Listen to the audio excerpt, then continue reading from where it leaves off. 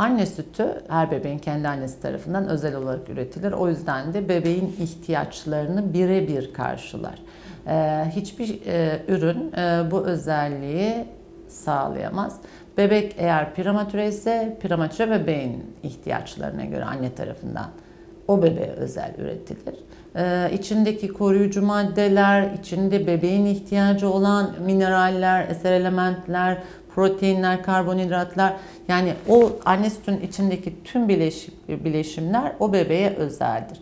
Hiçbir annenin sütü diğer annenin sütüne benzemez. Bu açıdan hani anne sütü çok önemli ve çok özel bir gıdadır bebekler için.